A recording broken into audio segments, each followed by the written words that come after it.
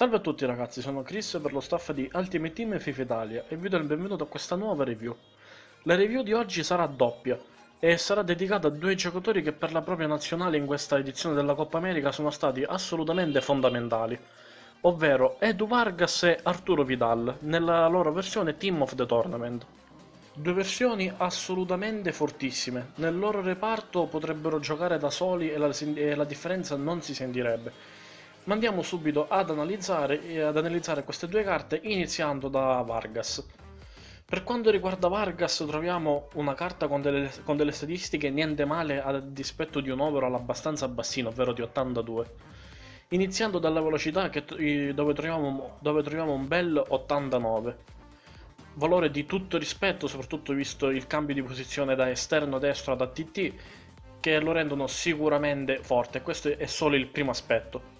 Per quanto riguarda il dribbling, anche qui troviamo delle ottime caratteristiche e la cosa più importante sono le 4 stelle skill e l'agilità con un valore di 92. Anche se non avesse avuto le 4 stelle skill, il dribbling sarebbe stato comunque un pro proprio grazie a quell'agilità. Perché anche senza essere molto pratici nelle skill, si riesce facilmente a superare l'avversario. Per quanto riguarda il tiro, anche qui statistiche buone, nulla di eccezionale, però ci stanno buone statistiche sia nel posizionamento, in finalizzazione, potenza tiro e tutto. L'unica statistica che non arriva all'80 sono i calci di rigore, però alla fine quella è relativa, infatti anche un portiere di sto gioco può battere tranquillamente un rigore. Le statistiche di difesa le saltiamo, visto che stiamo parlando di un attaccante, e andiamo direttamente al passaggio. Passaggio non c'è nulla di eccezionale da dire, non è né un pro né un contro, è un bel passaggio corto, tutto il resto non mi ha entusiasmato e non mi ha deluso, quindi nella media. E per finire andiamo a vedere il fisico. Fisico dove troviamo una statistica abbastanza bassina, eh, infatti troviamo un 68 sulla carta, però abbiamo due statistiche buone e due meno buone. Le due buone sono elevazione e resistenza. L'elevazione è un po' relativa perché alla fine è un giocatore basso, anche se ha un valore di 84 comunque di testa non ne prende tante. Mentre invece la stamina permette di arrivare a fine partita con ancora un briciolo di energia per tentare magari lo scatto della vita all'ultimo. Mentre invece le due negative sono la forza fisica e l'aggressività. Tutto sommato, a mio avviso, questa versione di Vargas è il secondo attaccante più forte della Bundesliga dopo Lewandowski, perché mi ci sono divertito veramente troppo ad usarlo. E ovviamente, oltre al fatto di essere divertente da usare, è anche veramente forte, perché come avete visto dalla clip di inizio video, un bel po' di gol li ha fatti, e anche in poche partite, quindi. Detto ciò, passiamo a Re Arturo. Eh, Vidal che ottiene questa versione che è totalmente fuori da, fuori da ogni schema.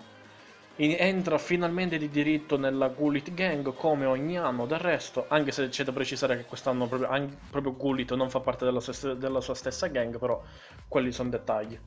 Dicevo di Vidal, tutte statistiche eh, superiori a 80, una carta che già guardandola vi fa capire quanto è forte. Questa versione di Vidal insieme alla versione Toz di Nainggolan a mio avviso è, la, è, il centrocampista più forte di FIFA perché come, fa lui, come fa lui sia la fase difensiva che offensiva non le fa nessuno. È un giocatore che veramente potreste schierare in ogni parte del centrocampo e renderebbe comunque da dio. Lo volete mettere CDC ha dei valori assurdi in difesa e fisico. Parliamo di 88 di difesa 89 fisico. Quindi può farlo e lo farebbe egregiamente. Volete metterlo mezzala, farà avanti e indietro per tutto il campo, la velocità ce l'ha, il passaggio pure, infatti troviamo un bello 87 sulla carta, che l'unico difetto, se proprio gli si voleva trovare alla card base di Vidal, era proprio il passaggio che non era proprio ottimo. Ma con questa versione abbiamo, ripeto, un 87 che si commenta da solo. Volendo potreste metterlo anche, anche COC, sarebbe un trequartista tipico, magari non ha il dribbling, anche se 86 sulla carta magari non ha le 4 stelle skill e qualcuno potrebbe far storcere il naso ma vi assicuro che fa degli inserimenti che, che non hanno nulla da invidiare ai migliori attaccanti del gioco. Infatti in tante partite magari l'ho fatto iniziare mezzale e poi l'ho spostato trequartista e comunque a livello di gol e assist rendeva da Dio, quindi boh, è una carta che veramente è fuori da ogni logica. Per me potreste metterla anche in porta. Ma comunque andiamo a vedere velocemente le statistiche, troviamo un 80 per quanto riguarda la velocità, 1,86 per quanto riguarda il dribbling, anche se come ho detto prima ha solo 3 stelle skill, ma alla fine quello è relativo. È abbastanza agile, ha un bel controllo palla e tutto, quindi ci può stare.